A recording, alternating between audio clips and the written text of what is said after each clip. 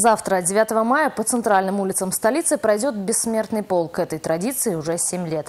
Правоохранительные органы напомнили о соблюдении правил безопасности, учитывая потенциальное количество участников, жаркую погоду и продолжительность шествия.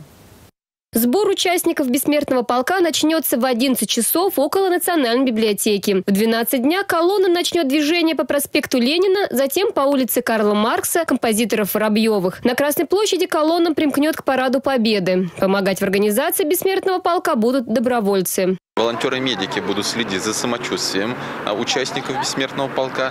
А другая же часть добровольцев будет оказывать консультацию а, по вопросам, где, где строится колонна, как в нее встраиваться.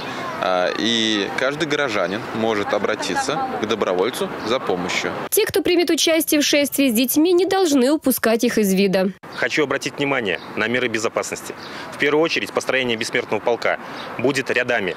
С учетом жаркой погоды обеспечьте себя питьевой водой.